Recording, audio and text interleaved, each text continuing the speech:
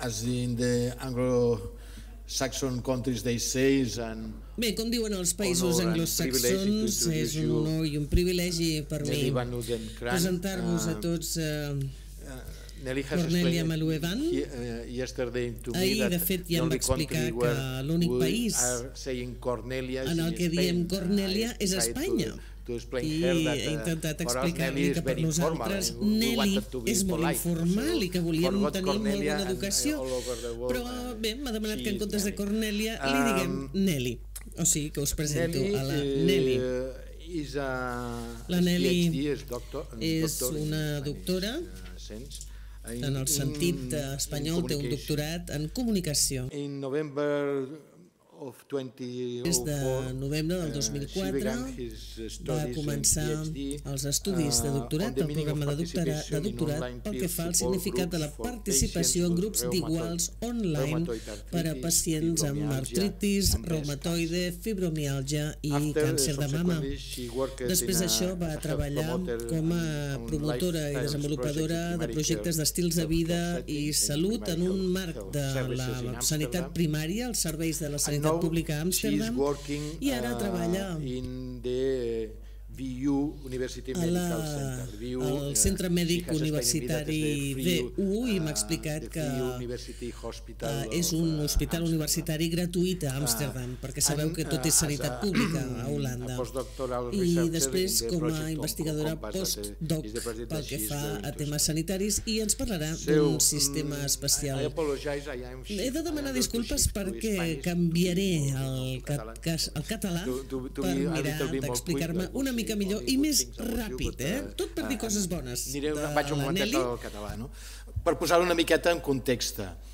Uh, fa 10 anys, uh, amb una de les feines anteriors que havia tingut jo, que treballant al PAM, vam començar a treballar el tema del disease management, gestió de malalties, que és tot el que ara se'n diu cronicitat, però que de veritat és disease management. No? Eh, I quan, quan començar a treballar això amb els senyors que treballaven, que eren d'una, els que diguéssim vam treballar conjuntament, bàsicament en una companyia farmacèutica que era MSD, em van, em van explicar que a part de les guies de pràctica clínica pel, pels metges, eh, es començava a parlar la literatura de guies de pràctica clínica pels malalts la veritat em va costar molt entendre perquè vaig pensar, home, si ja els metges o els clínics no fan servir les guies de pràctica clínica, com els faran servir els malalts, no? Diguéssim, i llavors, bueno, vam començar un mini projecte amb un tema d'insuficiència cardíaca, però allà ens vam quedar, no? Durant el resto d'anys he anat veient per diferents puestos gent que feia coses per malalts, però sense veure gaire sèrio, però eh, fa, va ser just fa un, em sembla que era un març de l'any passat, a la Casa Convalescència es va organitzar un International Forum on Health Care Information and Communication Technology, organitzada per la Universitat de Castelló, la UOC i el Center for Research for Family Health de Halifax, Canadà, en el qual eh, diferent gent estava comentant temes. No? I la, l'Eulàlia Hernández, que està aquí, és una de les persones que liderava, de la UOC liderava allò. I allà és on vaig sentir la conferència de la Nelly i és quan vaig quedar, dic, esto és Datsis, no? Eh, això és el que ens interessa no tenia la seva referència, vaig fer un Google per convidar-la i llavors vaig trobar que havia, havia fet una presentació a la conferència Berkeley que fan eh, sobre Health 2.0 i per si us interessa el tema 2.0 no, només hi ha dues conferències al món. Un Health 2.0 que es fa a Califòrnia, Boston i la, els últims anys a París i Berlín que és una, és una empresa, és una conferència amb uns aires un pèl més comercials, per dir-ho una forma, de 2.0, però que està bé, si us interessa val la pena seguir-li la, la, la línia, i l'altra és la conferència de la Universitat de Berkeley, que és la més acadèmica. No? La Nelly va fer una presentació allà fa poc i aquí és on vaig pillar el seu mail per vindre. Uh, Holanda és el país uh, d'Europa més avançat amb innovació, amb organització, gestió, intervenció de pacients a distància del resto i amb algunes coses està quasi a nivell dels Estats Units. No sé i per aquest motiu jo crec que és molt important que ho sentim i, bueno, i a partir d'aquí ho disfrutem. Feu abstracció del que expliqui i intentem traslladar-ho al nostre entorn i com ho podíem traslladar. I, bueno, uh, is my pleasure to, to listen to És un plaer per mi donar-te la paraula. Moltes gràcies, Nelly.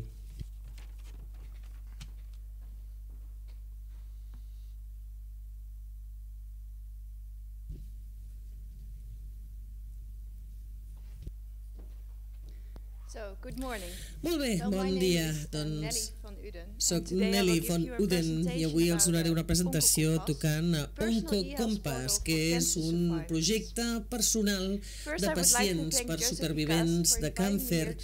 En primer lloc vull donar les gràcies per haver-me convidat a parlar en aquesta reunió tan interessant de les TIC dedicades a la sanitat. En primer lloc donaré una presentació tocant els temes, però sí que vull parlar una mica més de mi mateixa i de la meva pròpia recerca en aquest àmbit d'interès.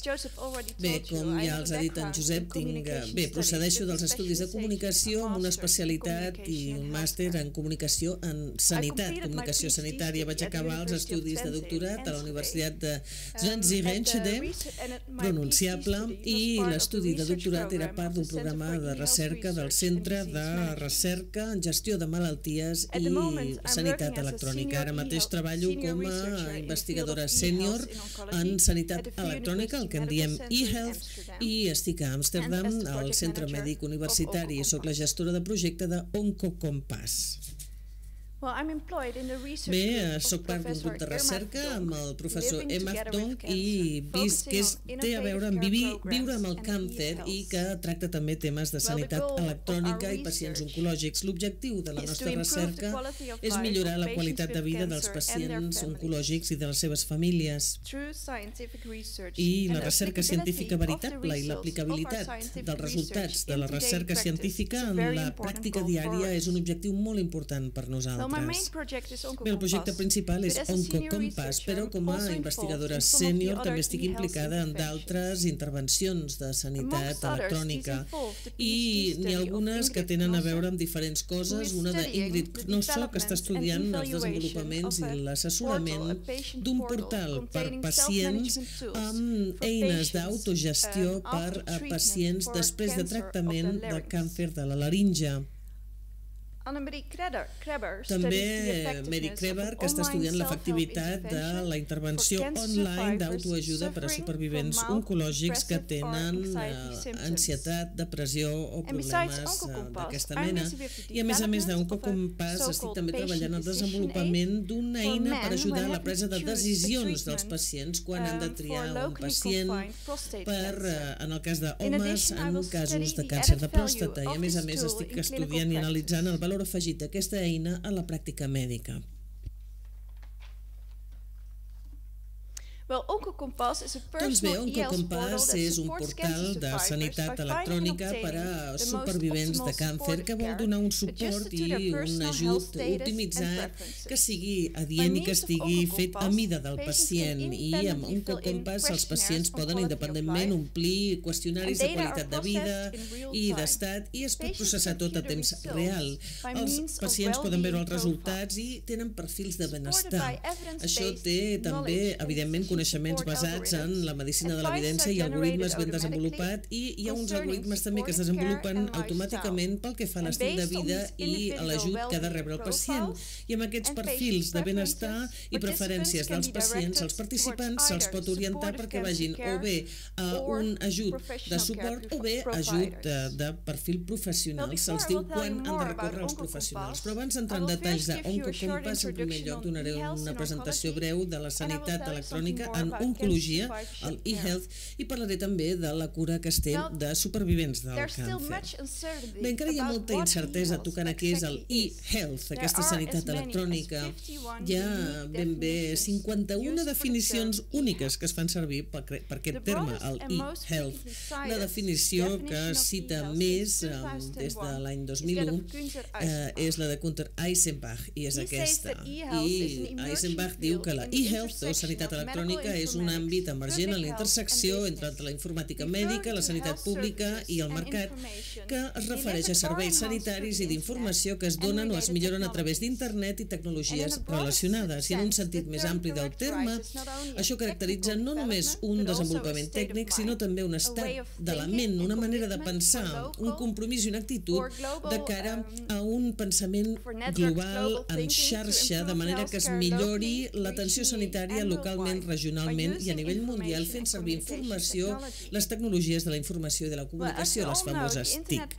Com tots sabem, internet té un paper important en la sanitat electrònica. En anys recents, la tecnologia internet eh, s'ha desenvolupat i el terme, de fet, web 2.0 es refereix a un canvi que està succeint a internet que passa d'una col·lecció de pàgines web, el 1.0, a una interactivitat i unes aplicacions, serveis i eines que realment fa que els usuaris siguin protagonistes d'internet i és la web 2.0. Tenim, per tant, aquesta, aquestes aplicacions i amb aquestes els ciutadans, els usuaris poden realment ajudar a desenvolupar la web i tenim continguts ara generats per usuaris com ara YouTube, Wikipedia, Facebook i MySpace. En aquesta uh, diapositiva poden comprovar el que és un resum de la intervenció en sanitat electrònica en funció de la classificació dels objectius de la e-health o sanitat electrònica en intervencions en oncologia. Tot això es troba en tots els àmbits, no només en oncologia. En primer lloc, com tots sabem, la salut és un tema importantíssim a internet. Eh, si fem cerques en pacients amb càncer, es demostra que una proporció important, com des del 50 al 60% de pacients pacients han buscat a internet informació de la seva malaltia. Hi ha moltíssimes web d'informació pel càncer. Si un fa una cerca de càncer en holandès que es diu Canker a Google, doncs ens dona 12,5 milions de resultats en 12 segons només posant la paraula càncer. Afortunadament per nosaltres en holandès el primer hit és el de la Societat Holandesa d'Oncologia. Però, eh, esclar, cada hospital també té la seva pròpia pàgina web amb informació pels pacients que inclou informació del càncer. I l'avantatge principal d'internet és que és una font d'informació comparat amb els canals més tradicionals i la informació, els continguts i el format es poden adequar a una situació personal del pacient amb internet. Però també hi ha alguns punts negatius d'internet com a font d'informació. Irònicament, per a aquelles um, persones aquesta, on, en què la um, informació sanitària pot ser molt útil, de vegades són les que no poden utilitzar-la perquè, per exemple, no tenen accés a internet o perquè no tenen prou habilitats. Això de vegades en parlem de la primera llei d'informació, que es pot resoldre, però a vegades hi ha una llacuna, un buit digital. La sanitat electrònica també dona la possibilitat de fer diagnòstics online. Hi ha un format automatitzat completament que és una valoració de risc sanitari. Un exemple d'aquest diagnòstic online i aquestes proves individuals es troben també a la Societat Oncològica Holandesa. El pacient pot eh, eh redactar la, les queixes i aleshores repassar un sistema de preguntes i respostes que va especificant les queixes de salut de la persona. I en funció d'això la persona rep un assessorament generat per l'ordinador tocant a la gravetat de la seva patologia que pot requerir consulta urgent del metge i ho recomanarà a l'ordinador o bé instruccions d'autogestió sanitària.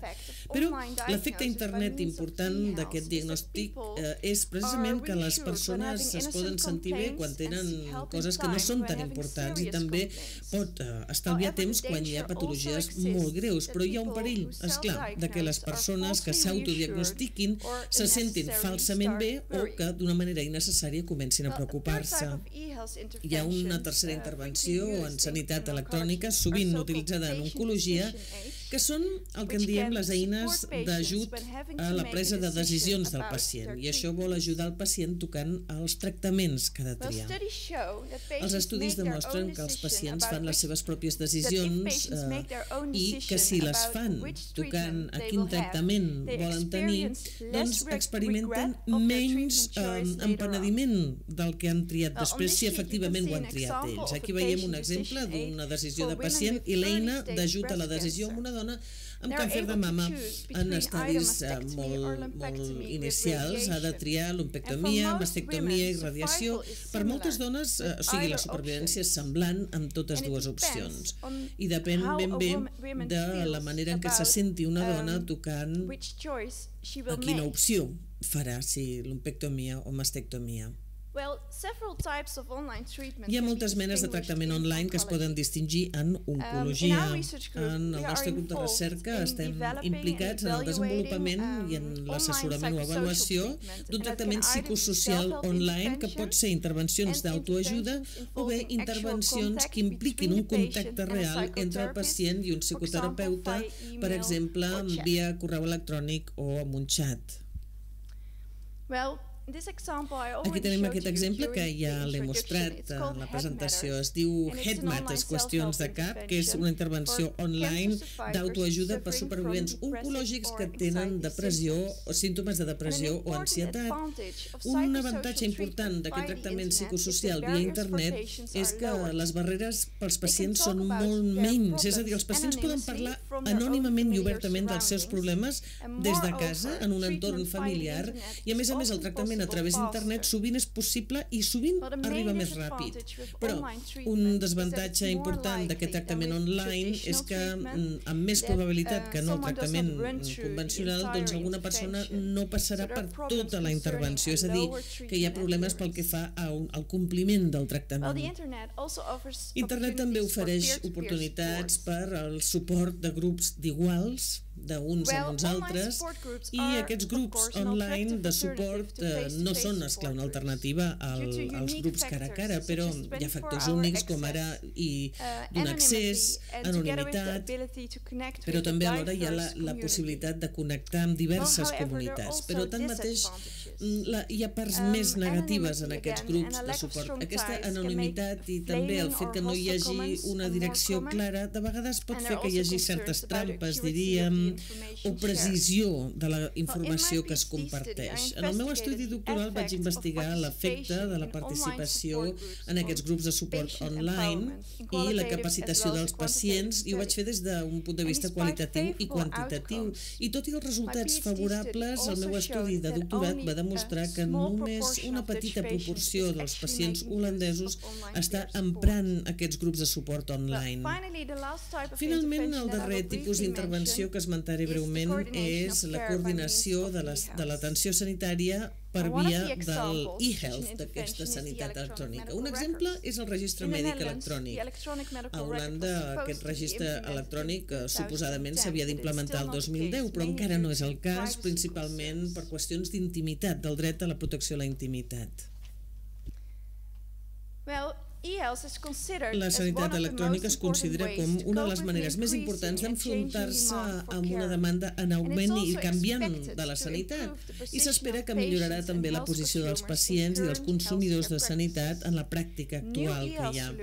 Les noves solucions de sanitat electrònica es desenvolupen, implementen i avaluen en tot el món i això ha plantejat unes expectatives força elevades per part de molts grups de persones, però tanmateix moltes d'aquestes expectatives encara no s'han satisfet. Per poder arribar al potencial cal eliminar moltes barreres primer.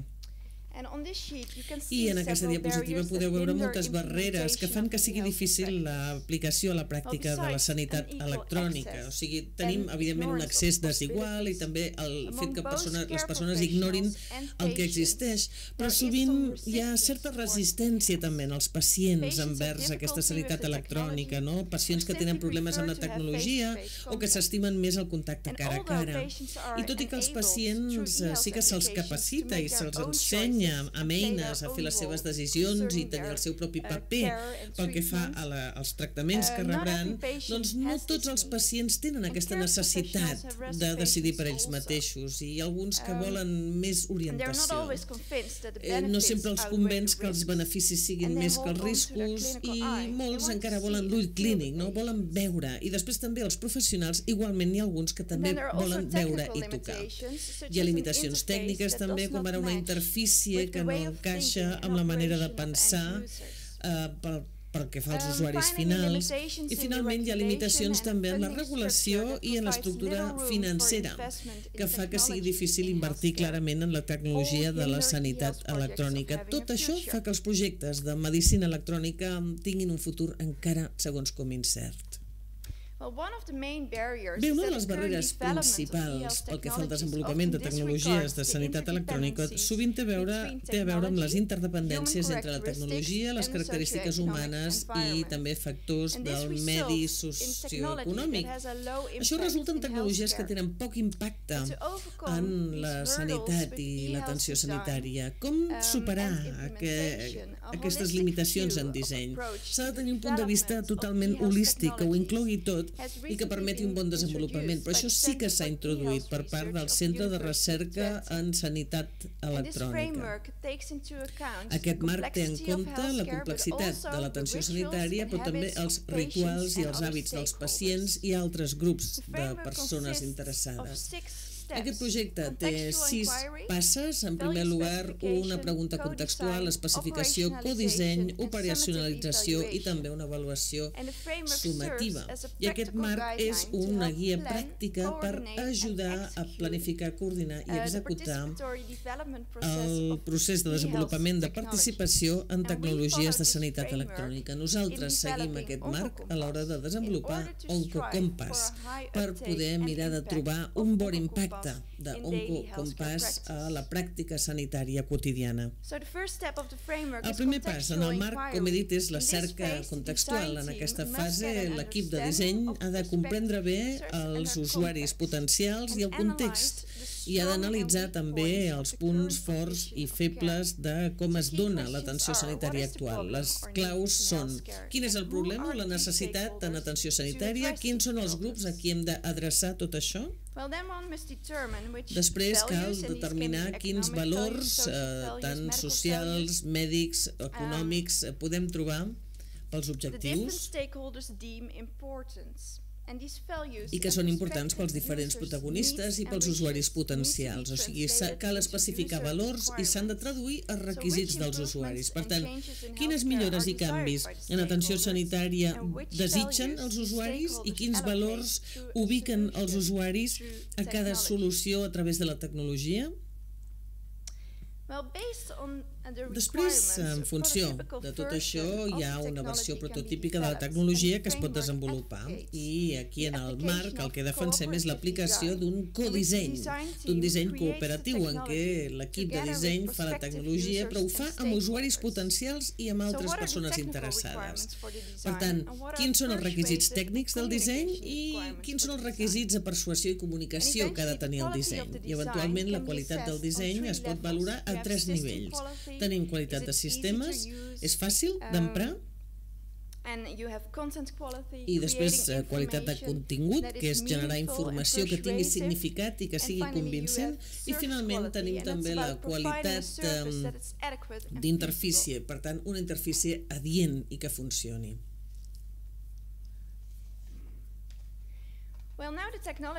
Bé, ara que tenim la tecnologia, doncs hi ha els plans eh, de màrqueting, diríem, i hi ha la qüestió dels procediments organitzacionals que cal posar en pràctica. Com es pot dur a terme la tecnologia i quines activitats i recursos calen per una implementació o aplicació amb èxit? I finalment, el darrer pas en sanitat electrònica és l'avaluació, és a dir, com s'està emprant aquesta sanitat electrònica, quins són els seus efectes en els pacients i quins en la sanitat. Per tant, els objectius tal com s'havien definit al principi s'han aconseguit, s'han assolit i com es fa servir aquesta tecnologia en la pràctica quotidiana. Doncs bé, ara els parlaré més de com nosaltres apliquem aquest marc concretament en el desenvolupament d'OncoCompass. En primer lloc, els donaré una presentació breu de l'atenció sanitària als supervivents oncològics. Aquí tenim la, la primera cerca contextual per tenir uh, una bona informació dels pacients als quals anirà adreçat Oncocompass. En la primera dècada del segle XXI a Holanda el, el nombre de pacients oncològics nou, nous va augmentar de 70.000 fins a més de 95.000 nous pacients per any. Això és un augment del 36%. I s'espera que aquest creixement continuï encara en les properes dècades i això parcialment es deu al fet que tenim una esperança de vida que cada cop creix més i perquè, és clar hi ha més i més persones de la generació del baby boom que arriben arriben a una edat en què el càncer és més freqüent. Degut al diagnòstic eh, primerenc i als nous protocols de tractament, la supervivència oncològica ha augmentat i estem parlant d'un 60% aproximadament i la prevalència de pacients que viuen amb càncer a Holanda s'estima que està en aproximadament 570.000 persones. Després hi ha evidència convincent pel que fa que els pacients de supervivents oncològics s'han d'enfrontar a uns efectes secundaris de tota mena del càncer i els tractaments i això afecta negativament la qualitat de vida relacionada amb la salut i interfereix amb el fet que puguin tornar a treballar o que, i que porta, per tant, a un consum sanitari augmentat. Però això canvia segons el tipus i tractament de càncer i hi ha tota una llista, és a dir, tenim la fatiga, l'ansietat, la por de que torni a passar, depressió, problemes amb la sexualitat, també un benestar físic menor, problemes cognitius, dolor, insomni, nutrició i tornar a treballar això són factors determinants en la qualitat de vida dels supervivents oncològics.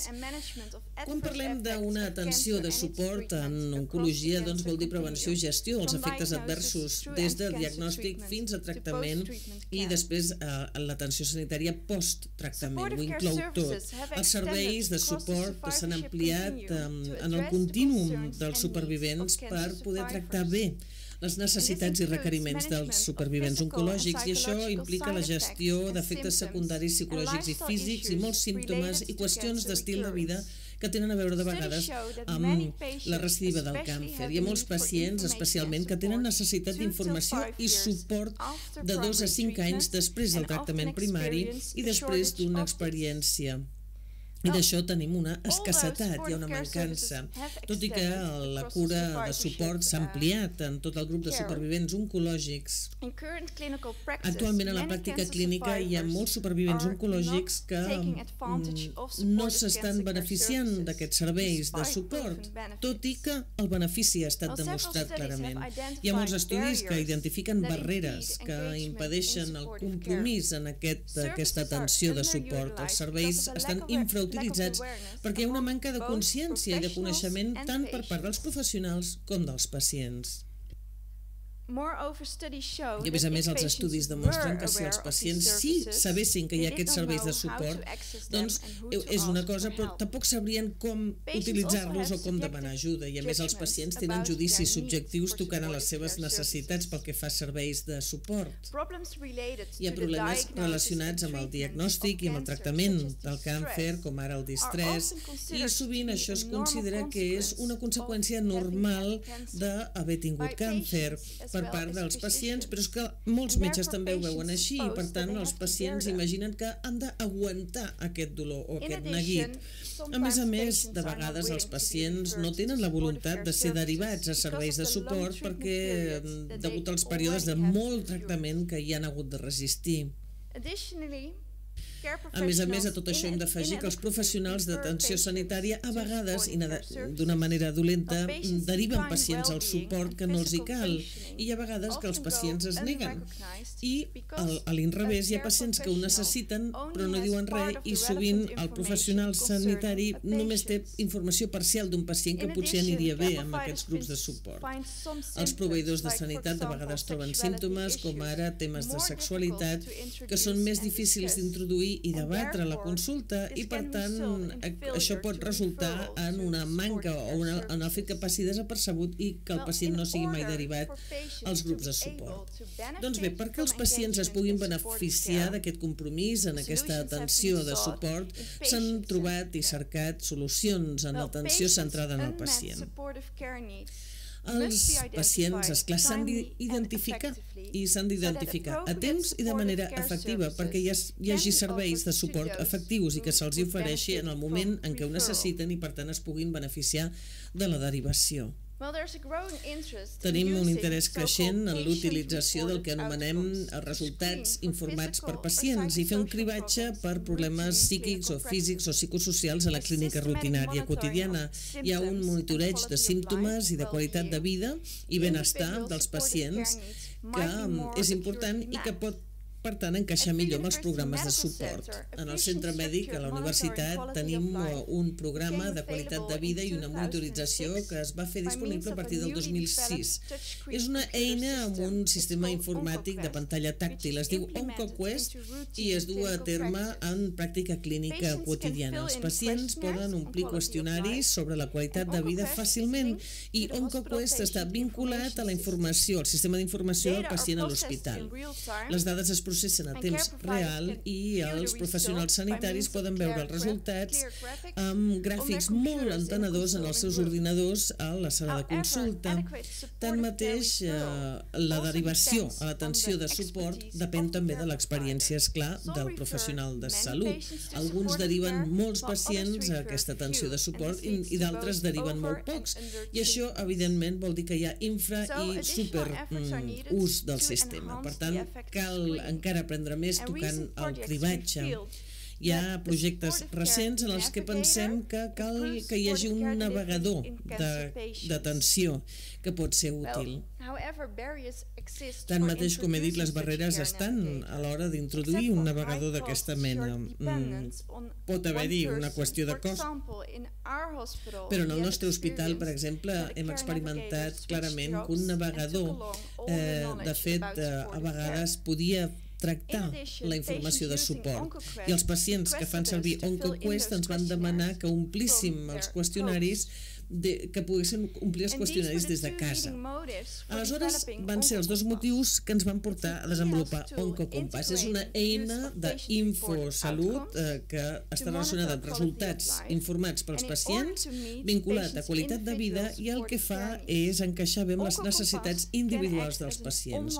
OncoCompass pot ser un navegador online per donar una atenció de suport òptima i per garantir que hi hagi una freqüència elevada d'ús i per tant un impacte positiu en la comprensió i en la probabilitat que l'usuari implementarà les recomanacions d'OncoCompass, el que vam fer va ser seguir un cicle de desenvolupament comparable al marc que us acabo de comentar. A l'hora de desenvolupar OncoCompass, hem dut a terme una sèrie d'estudis que conjuntament són la base eh, per desenvolupar tot això. Vam començar primavera passada, tenim un qüestionari online quantitatiu amb un grup de persones que han sobreviscut al càncer, 339, i ens vam centrar en les seves necessitats de serveis de suport i de sanitat electrònica.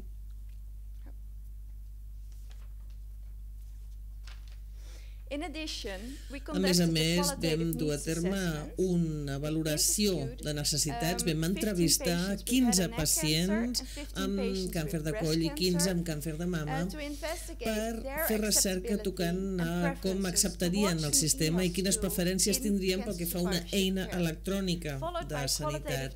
Seguit també amb una valoració de necessitats, però des d'un punt de vista d'un equip multidisciplinari oncològic que tingui a veure amb el tractament post post-tractament de pacients que hagin tingut càncer de coll en aquest cas. I el prototip d'Oncocompass eventualment es va desenvolupar. Vam investigar la utilitat d'aquest prototip utilitzant uh, software Morae. Als pacients se'ls va dir que duguessin a terme unes tasques com ara el login a l'Oncocompass i doncs eh, anar contestant i amb el software adaptat es mantenien doncs, tots els moviments i expressions dels pacients a mesura que feien aquestes proves amb l'ordinador. I en el primer estudi d'usabilitat ens vam centrar en la qualitat del sistema. Doncs bé, per tenir l'equip um, d'experts vam definir aleshores uh, un, un equip real, estem parlant d'OncoCompass 0.1 uh, que va començar a principis de fet d'aquest any, del 2012. I aquest any vam començar amb un un repàs d'Oncocompass explicant com funcionava. A més a més, hi ha un segon estudi d'usabilitat que es centra en el contingut i la qualitat també dels continguts. Ho estem duent a terme ara mateix. I les millores que es deriven de tant el repàs cognitiu com del segon eh, projecte d'usabilitat, doncs tot això incrementarà el, la sofisticació d'en Compass i la idea és que al juny d'aquest any començarem amb un estudi pilot tocant a la factibilitat a nivell nacional, és a dir, no només al nostre propi hospital, sinó també als hospitals de Leiden i Maastricht, és a dir, a nivell nacional. Ara breument us vull comentar els resultats dels estudis que, que ja hem dut a terme. Bé, en aquestes diapositives eh, marquem la versió quantitativa de la qualitat de vida en pacients que han tingut càncer. Tocant el desenvolupament d'Ococompass, la idea era que el 44% dels pacients de càncer eh, indicaven que havien rebut eh, informació insuficient tocant l'impacte del càncer a la seva qualitat de vida. Això va sortir. A més a més, els resultats eh, van mostrar que el 64% de pacients que havien sobreviscut al càncer van demanar ajuda per qüestions físiques, el 53% pel que fa a canvis en l'estil de vida, el 40% tenien problemes psicològics, el 39% problemes socials i finalment el 24% dels pacients que havien tingut càncer en el passat van expressar una necessitat d'ajuda amb preguntes molt importants. Doncs bé, després la valoració eh, quantitativa mostra que molts pacients pensaven que el suport electrònic sí que tenia un valor afegit per eh, ajudar-los amb la seva malaltia. Un dels pacients va dir, bé, jo crec que la pàgina web és una cosa molt bona. Si pots trobar tota la informació simplement en un únic lloc, no et cal anar cercant d'aquí i d'allà a l'altre. Està bé que estigui tot en una pàgina sola. Doncs bé, la major part dels pacients van esmentar que els, eh, no entenien que hi hagués tants efectes secundaris després del tractament oncològic. I els avantatges esperats d'un portal electrònic seran precisament el fet de tractar qüestions psicosocials, i la disponibilitat de 24 hores per persones que encara tenen efectes secundaris. També hi ha inconvenients que pot ser doncs, la manca de contacte personal, per exemple. Un altre pacient va dir que no hi ha sutileses, no? que en una conversa cara a cara a vegades hi ha petites sutileses a la conversa per les mirades o les inflexions i que això potser mancaria. L'avantatge principal, no obstant, d'aquesta monitorització de la qualitat de vida dels um, pacients uh, i esmentat pels pacients és que augmentaria la seva visió dels efectes secundaris possibles i que potser aquells pacients que havien tingut efectes secundaris durant més temps i encara els tenien, doncs els interessaria una monitorització. També pot donar una imatge més realista, perquè clar, si algú es troba molt malament ara, doncs eh, un té la sensació que sempre es trobarà molt malament. I aquí canviaria. Els pacients tenien la informació, tenien la idea que la informació que té a veure amb efectes secundaris, com ara l'estrès o el cansanci, doncs s'ha de relacionar amb tumors específics i amb una indicació de quant temps durarà. Per exemple, la nàusea, l'apetit, què s'ha d'esperar? La indicació de quant de temps trigarà aquesta mena d'informació, comentava un pacient.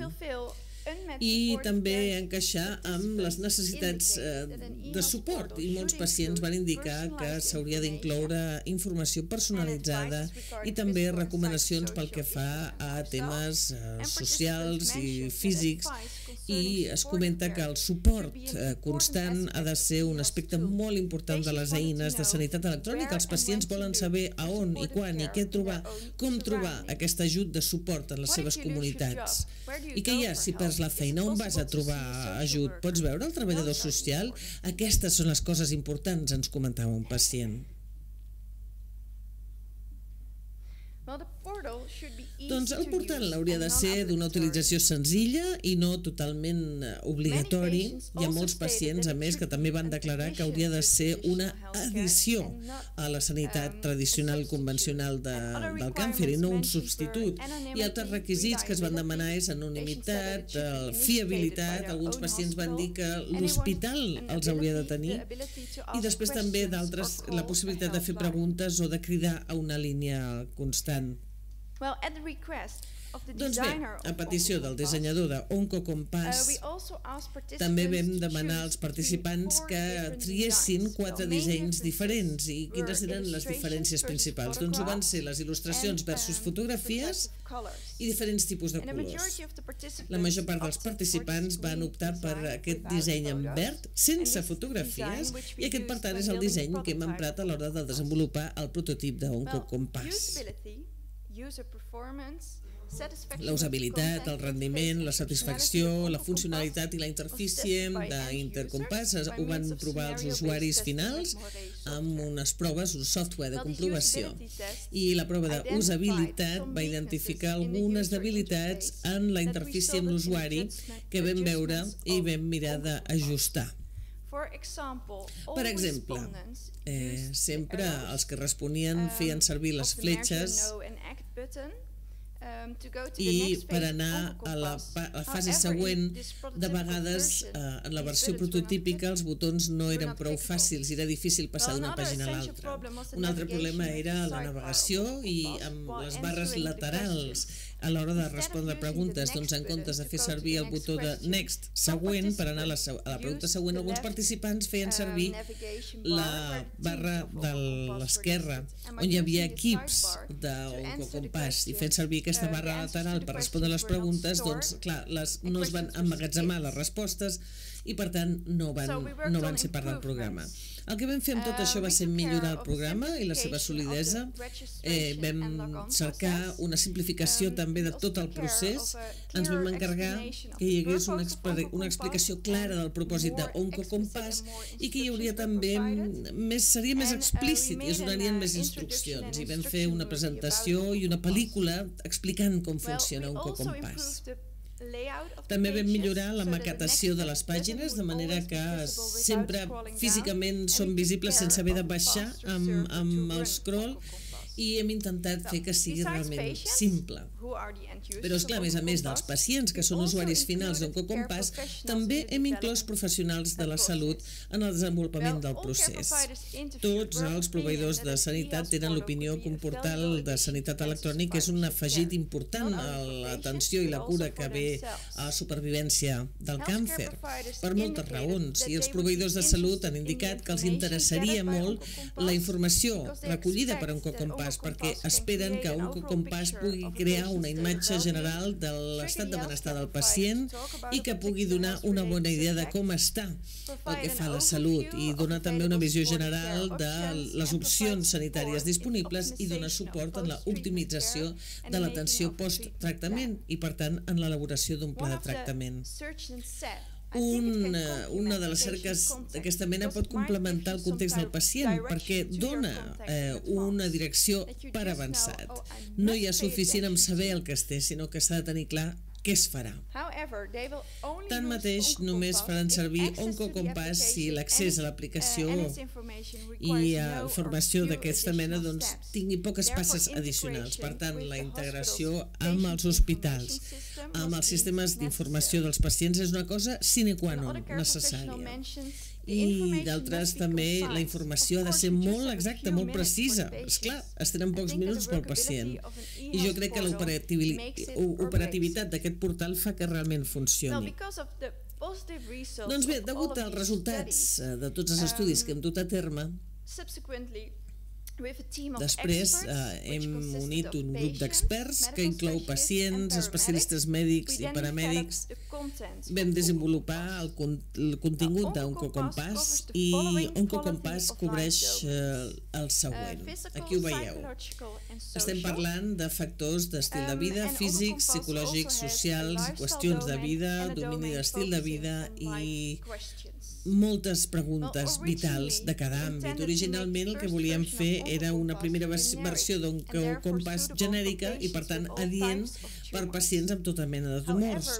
Però tanmateix i degut a, a, a les necessitats específiques dels pacients i la, la informació personalitzada, hem construït un model, un model que especifica el tumor en el cas de, de pacients de càncer de coll i cara i per exemple en el cas que es queixin del mal quan en passen o quan parlen anirien directes. Us ensenyaré un exemple ara.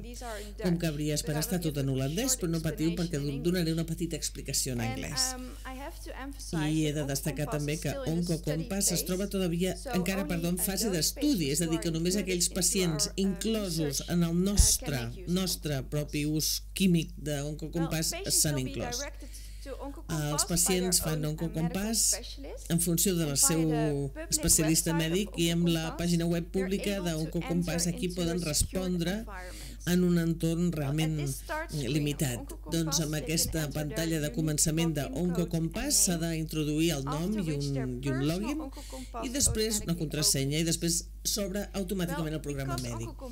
Degut a que OncoCompass va destinat a la oncologia i aquí en tenim, tenim de tot, doncs els pacients ompliran OncoCompass unes 12 setmanes després d'acabar el tractament. I això pot ser qualsevol tipus de tractament. Aleshores, els pacients poden immediatament eh, començar amb el programa. Ja es fa un perfil gràcies a instruccions molt clares i ben explicades en forma de pel·lícula d'instruccions i se'ls ensenya a fer servir OncoCompass. Doncs bé, OncoCompass consisteix de tres components principals, mesurar, saber i fer. El que, el que es fa és primer respondre per part del pacient unes preguntes i OncoCompass consisteix en uns qüestionaris validats només.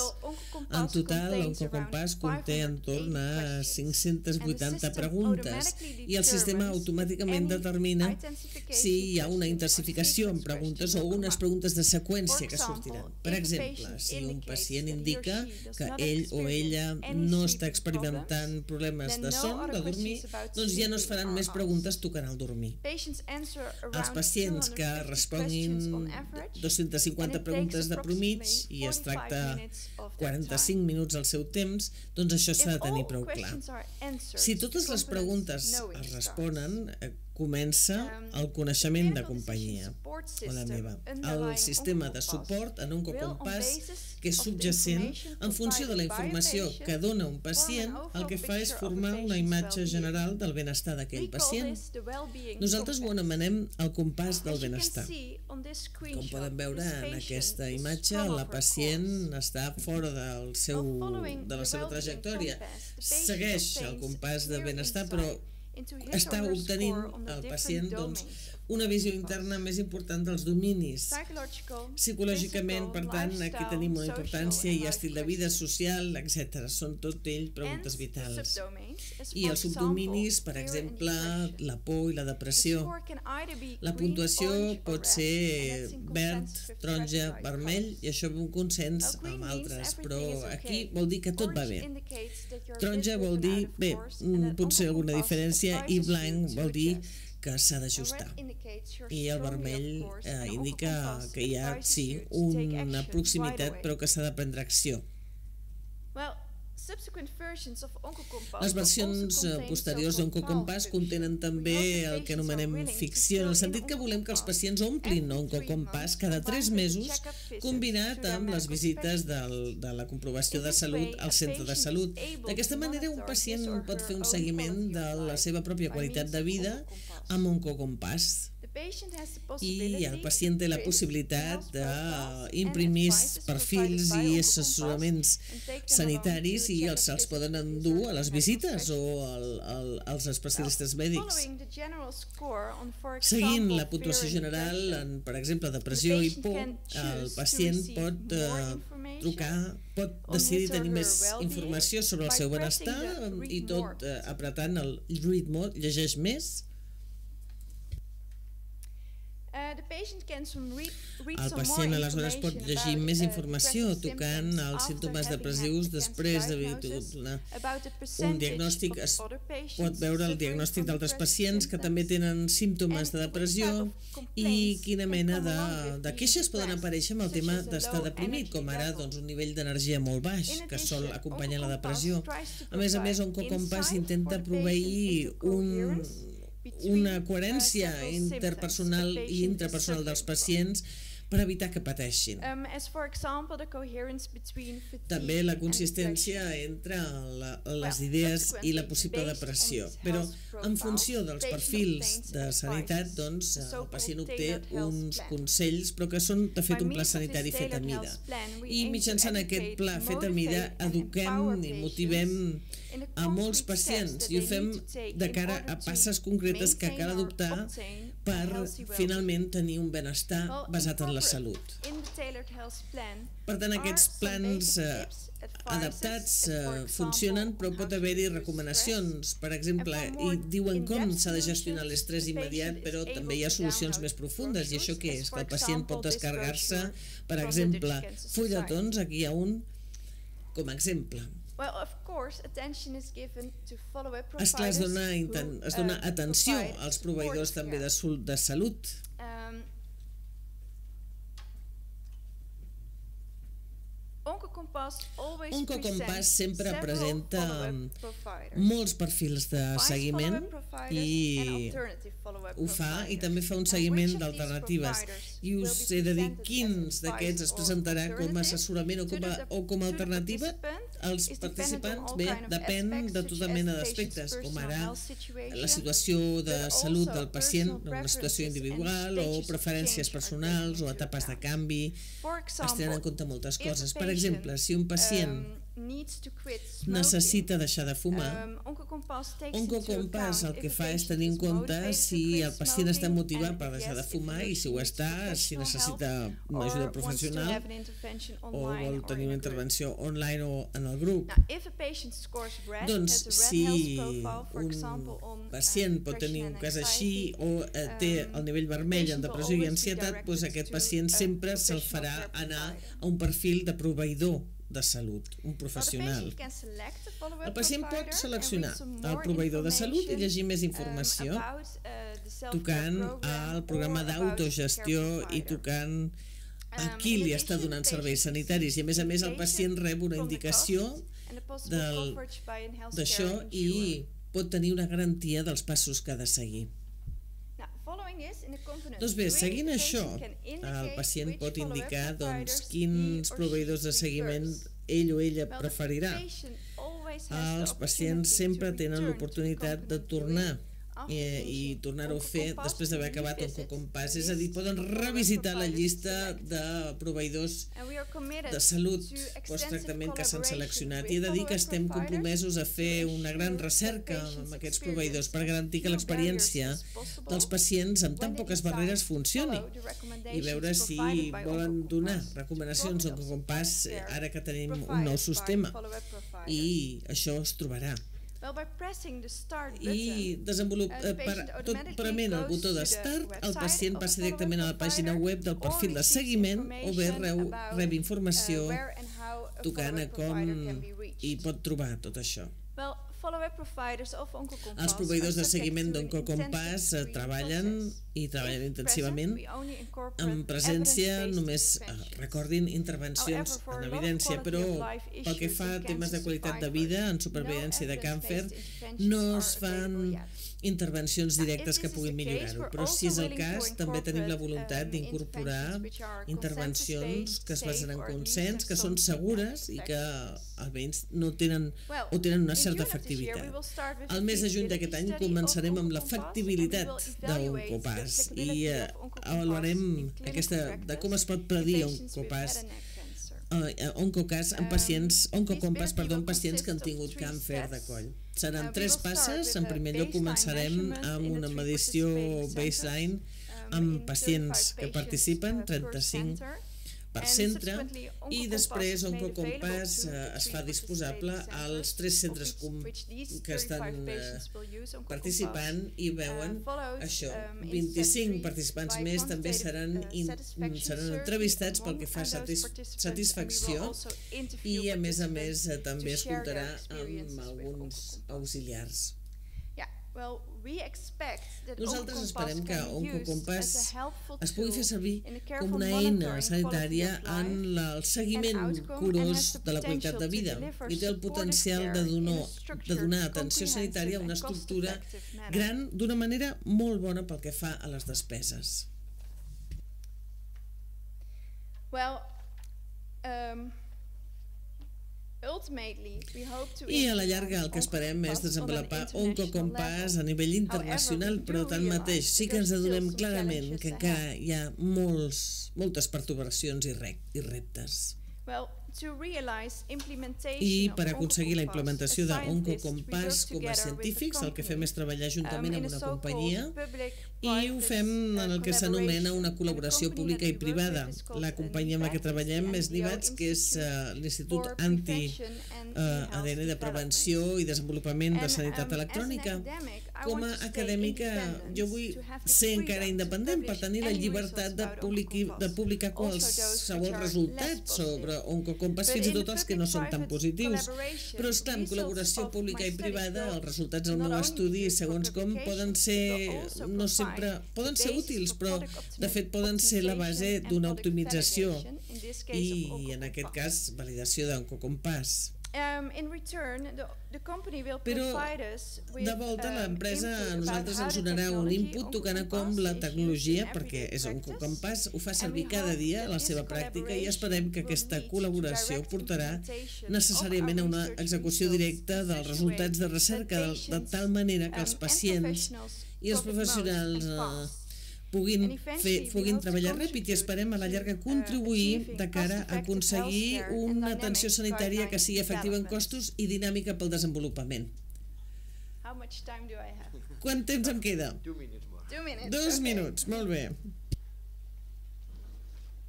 Well, doncs bé, com s'ha comentat uh, abans, he de dir que abans d'introduir un producte al mercat et cal un cas d'estudi, no? un estudi del mercat, i tot i que no sóc una experta, sí que us donaré una mica d'informació tocant Oncocompass i l'estudi del mercat. El mercat d'Oncocompass són tots els supervivents de càncer, com he comentat ja, la xifra de persones que viu amb el càncer a Holanda s'estima que és d'entorn a 570.000 persones, i l'expectativa és que aquesta xifra realment augmentarà de manera significativa en els propers 5 anys a tota Europa. I això vol dir que estem parlant de 15 milions de pacients que han passat pel càncer i han sobreviscut. Doncs bé, Oncocompass es dona per internacionalització, o sigui, l'escabilitat és molt possible perquè ja eh, està basat en la web i perquè eh, l'equip científic de recerca era internacional, és internacional. Esperem que el 75% de pacients de càncer pugui utilitzar Oncocompass independentment o potser sota una certa supervisió d'alguna um, d'una infermera oncològica, però el pla de factibilitat, que és la primera validació d'Oncocompass, uh, sí que ens diu que ens podrem tenir més informació a mesura que passi el temps. Um, i després també hi ha un valor comercial afegit d'un cocompàs que és que és molt, o sigui, és una um, atenció de supervivència efectiva pel que fa a costos. Uh, Arribem a més persones millor perquè hi ha més participació i autogestió per part dels pacients. Una qüestió important és qui pagarà un cocompàs a la llarga o almenys qui pagarà perquè la gent empri un cocompàs. Clar, a la Unió Europea suposem que les companyies, les mútues o potser els hospitals pagaran Oncocompass i pensem que no és tan probable que els pacients hagin de pagar per ells mateixos o que donin una contribució especial. Però, de fet, encara cal determinar el camí d'Oncocompass, però els costos d'operació són molt limitats, no és car de mantenir, encara que calen persones que treballin a Oncocompass, per exemple, en una, una finestreta d'ajuda o amb algú que actualitzi sempre Oncocompass. Eh, després també hi haurà una participació augmentada que potser això a la llarga portarà uns preus encara um, més barats. El nostre soci uh, comercial és de l'opinió que l'acceptació del mercat um, de la sanitat electrònica és quelcom que promet. Ara és un bon moment per solucions eh, de sanitat electrònica i en els hospitals holandesos és obligatori dur a terme la, la guia de la rehabilitació oncològica i nosaltres pensem que un Compass és una manera molt efectiva i poc cara d'implementar aquesta guia i assegurar i reconfortar els professionals i pacients. Tanmateix, sempre hi ha algunes barreres, com ara la resistència entre professionals de la sanitat, i fins ara hi ha hagut solament una, una tornada de cara a entrevistes cara a cara. No hi ha tarifes que es cobrin per programes de suport i de gestió de sanitat electrònica. Part del negoci eh, té a veure amb coses a llarg termini. Comencem ara en fase 2 i validació d'un Cocompass i els, les properes passes ho seran de validació nacional i també, i també a la llarga doncs, un màrqueting ampli a nivell nacional seguit per un màrqueting uh, internacional clar perquè arribi a tothom. I la planificació a llarg termini, amb el cas de negoci, és molt optimista per uns uh, estudis científics ben dissenyats, com sabem, cal que passi força temps i uh, això no sempre s'inclou en el pla de negoci. Bé, en tot cas, uh, el primer pas ara per ara és la prim el primer estudi de validació de Oncocompass a Holanda, I m'agradaria donar-los a tots les gràcies per la seva atenció i si tenen alguna pregunta tocant a sanitat electrònica en oncologia o un compàs, m'encantarà respondre ara més endavant. Moltes gràcies. Preguntes endavant, si us plau, el micròfon. Ok, tu qüestions. Sí, dues preguntes, va. Moltes gràcies, m'ha encantat aquesta presentació i tot el programa.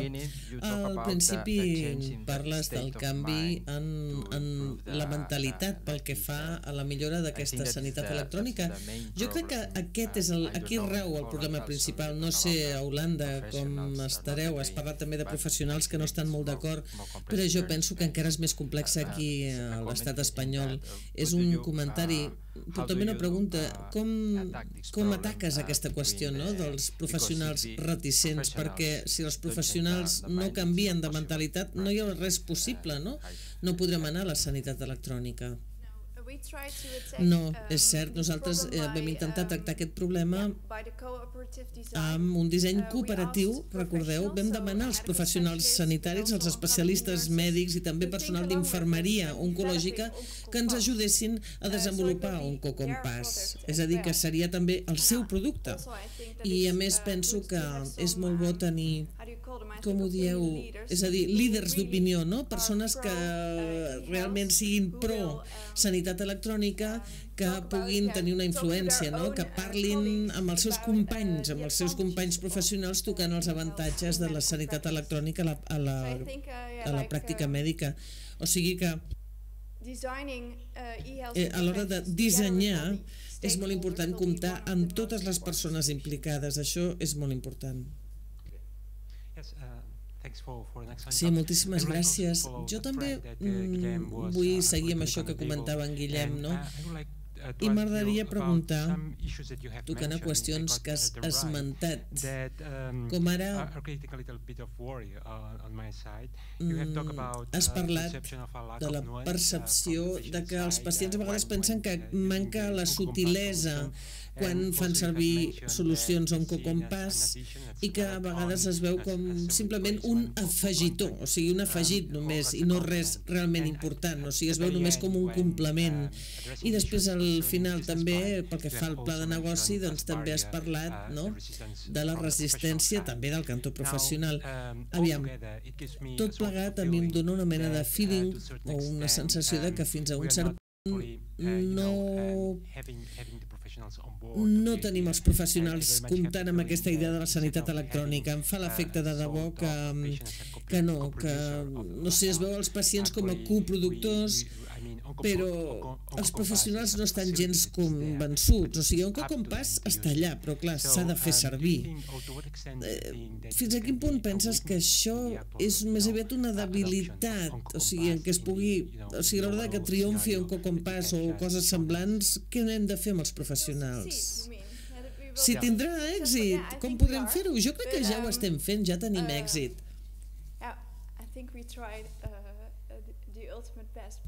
Realment hem fet tots els possibles perquè hem desenvolupat tecnologia de sanitat electrònica comptant amb tots els grups d'interès, cosa que he comentat. Hi ha resistència, però això és normal. Penseu que en Cocompàs és un producte de pacient, per tant, per tant serà una mena de portal pels pacients i pels especialistes mèdics. No els agrada perdre control, aquesta és la veritat. Per exemple, volen veure si, no sé si, com va no, el perfil d'estil de, de vida del pacient i els agrada doncs, que el pacient els mantingui informats, no els agrada que els seus pacients puguin fer decisions autònomes, no? El tema principal o l'objectiu principal de OncoCompass és precisament que es tracta d'un sistema de pacients. Molt bé, doncs moltíssimes gràcies, Nelly, de veritat, ha estat un plaer. Passem ara a la propera taula rodona. Gràcies.